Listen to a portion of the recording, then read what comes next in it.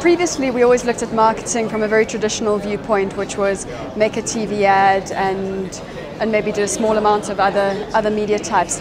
But these days, obviously, that's all changing. Um, certainly, we know more and more people are accessing media through their mobile phones, and we know the penetration is massive.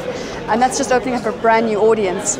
It's also changing the way that we create our communication. So previously, we would go in and brief our typically ATL agency and ask for a TV script.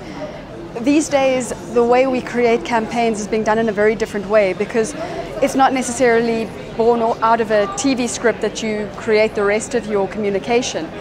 These days, it's about an ongoing conversation. So the type of content you create can live across many different screens and not just a TV screen. So a great example we have is a recent campaign on Halls called the Clay and Kimmie campaign. We did do a traditional 30 second TV ad, uh, but what was far more successful was the two minute uh, longer version that went onto the internet. That's had almost 400,000 hits, a massive amount of conversation. It went viral, and it showed us the importance of having a really relevant message, getting it out there, and, and having something that people wanted to interact with and entertained people.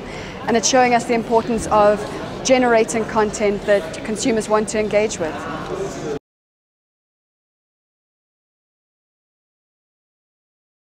It's a massive challenge. Uh, it challenges the way our agencies work. It means that you can't do something as a one-off. Uh, you need to think in a far broader way when you're thinking about your campaigns because you're needing to think around uh, a longer conversation, uh, a longer story. Uh, you need to think in a, with a, a, lot more perspective than you did previously. It's quite an exciting uh, challenge for us and it certainly means the brands that do it best will be those that win in the marketplace.